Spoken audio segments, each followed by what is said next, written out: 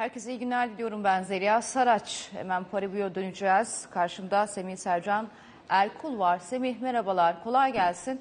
Öncelikle, Merhabalar Zeliha Hanım. E, öncelikle Tesla ile ilgili bir bilgi ve haber vardı. E, çok da yankı buldu. Biraz evet. detaylandıralım başlıkları. Tabii. 2021 yılının Şubat ayında 1,5 milyar dolarlık Bitcoin alımı açıklamıştı Tesla. Kripto ekosisteminin de en büyük yatırımcılarından biriydi. Tabii alımın yaşandığı çeyrekte likidite kaynaklı %10 kadar bir kısmını sattılar ve rakam 1.33 milyar dolara geriledi. O dönemden beri de bilançolarında bu miktar duruyordu. Perşembe gecesinin ilk saatlerinde Elon Musk'ın da dahil olduğu oturumda bilanço rakamları açıklandı.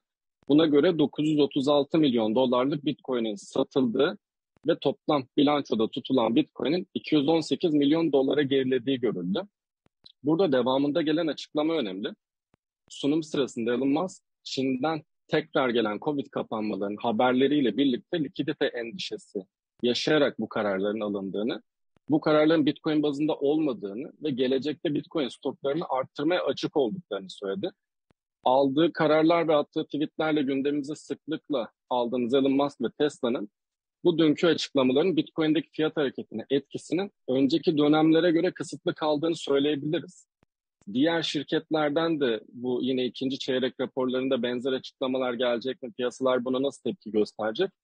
Takip edip göreceğiz deyip bir tarafta İngiltere'nin regülasyon açıklaması var. Hazinenin finansal hizmetler ve piyasalar yasa tasarısında stabil paralara yönelik düzenleme planı açıklandı. Burada içeriye baktığımızda temel amacın güvenli bir şekilde adaptasyon sağlamak için aslında yol haritası çıkarmak olduğunu görüyoruz. Bu amaçla da hem stabil paraları hem de dijital varlıkları bir çeşit ödeme formu olarak regüle etme isteği var. Tabii burada Merkez Bankası'ndan gelecek yaklaşım da önemli. Sunulan tasarının yasa olması için Lordlar Kamerası ve parlamentodan geçmesi gerektiğini de düşünürsek şimdilik çerçeve oluşturan bir gelişme olduğunu söyleyebiliriz. Bir başka regülasyon haberi de Amerika'dan. SEC Başkanı Gary Gensler kripto düzenlemesi konusunda SEC'den ne beklenmesi gerektiğini açıkladı. Üzerinde durdukları konuların kripto para platformları, borç veren kuruluşlar ve brokerlar olduğunu söyledi.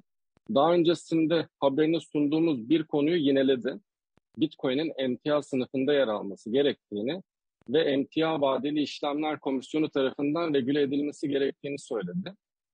Ethereum gibi diğer kriptolar hakkında herhangi bir yorum yapmadı.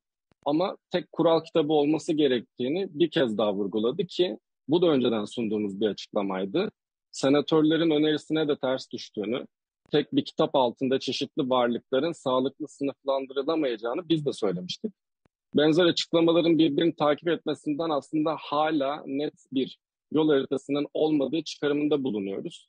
Takip etmeye devam edeceğiz. Deyip sözü size bırakayım. Semih çok teşekkür ediyorum e, verdiğin bilgiler için. İyi yayınlar. Sağ olun. Çin araç paylaşım uygulaması Didi'ye 1,2 milyar dolarlık bir ceza kesti. Cezanın kesilmesinin ardından şirket için en kötüsü geride kaldı.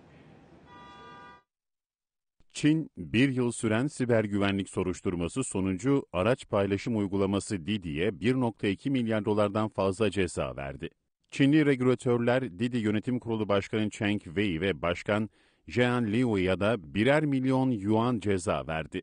Amerika Birleşik Devletleri'nde Haziran 2021'de 4.4 milyar dolarlık halka arz yaparak Çinli otoritelerin tepkisini çeken şirketin önündeki belirsizlik perdesi, uzun zamandır beklenen cezaların açıklanmasıyla kalkmış oldu. Soruşturma sürecinde bir ara şirketin piyasa değeri %80 erimişti. Cezanın açıklanması şirket için en kötünün geride kalması anlamına gelirken, Çin yönetiminin ekonomi kötüye giderken teknoloji şirketlerine yaklaşımının gelecekte yumuşayacağı görüşünü de destekliyor. Albaraka'nın baş ekonomisti Doktor Ömer Emeç ve Top Etü Üniversitesi öğretim üyesi Profesör Doktor Fatih Özetay 7. kez faizlerin üst üste sabit bırakılmasını değerlendirdi. Herkes konuşuyor resesyonu. Ee, Avrupa'da, dünyada, Amerika'da böyle bir ihtimal var. Ee, giderek artıyor bu ihtimal. Merkez Bankası da bunu eklemiş.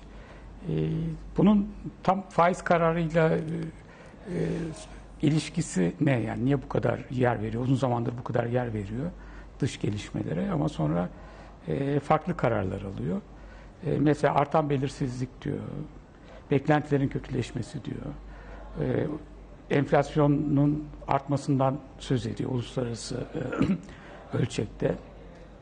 E, bunların hepsinin e, sonucu e, faiz arttırması. E, Amerikan Merkez Bankası'nın ve Avrupa Merkez Bankası'nın resesyon ihtimali.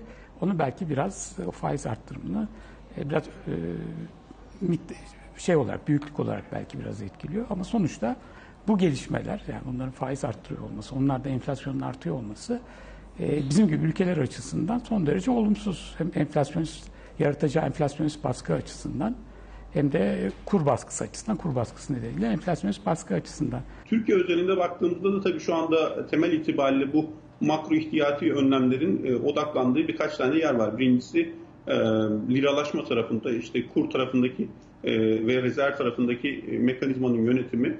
Bununla birlikte cari işlemler tarafı ve kredi mekanizmasının buna göre uyumlanması. Ben makro ihtiyati gerektiğinde makro ihtiyati politika setinin ilerletilmesinden daha da arttırılmasından şunu anlıyorum. Ee, eğer e, kur üzerinde baskı gelebilecek daha e, kur üzerinde zaten bir baskı var. Bu artarsa ve e, daha da güçlenirse belki KKM tarafındaki teşvik edici unsurların arttırılması gündeme gelebilir. Yine hakeza enflasyon tarafında tüketici tarafında gelebilecek işte kredi büyümesi olabilir. Kredi büyümesi yavaşlamaya başladı ama hali hazırda enflasyon tarafında baskı var.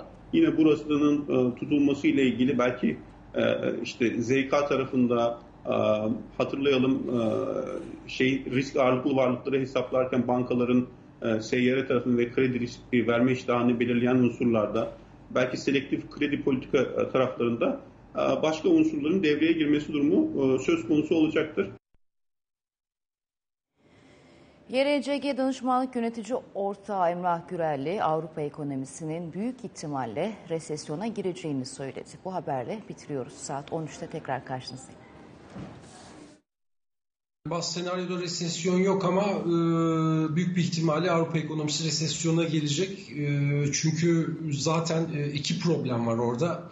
Birincisi bu jeopolitik gelişmeler e, Euro bölgesini çok olumsuz etkiliyor. Özellikle bu Ukrayna, Rusya-Ukrayna savaşı ve bunun yarattığı etkiler, işte enerji, enerji tedarikinde yaşanan sorunlar vesaire. Avrupa'da zaten bir e, büyüme problemi ve başka uzun vadeli problemler zaten var. Evet, şimdi tabii e, Amerikan Merkez Bankası hızlı bir şekilde o geç kalarak aslında faizleri yükseltip işte enflasyonu bir miktar dizginlemeye çalışıyor.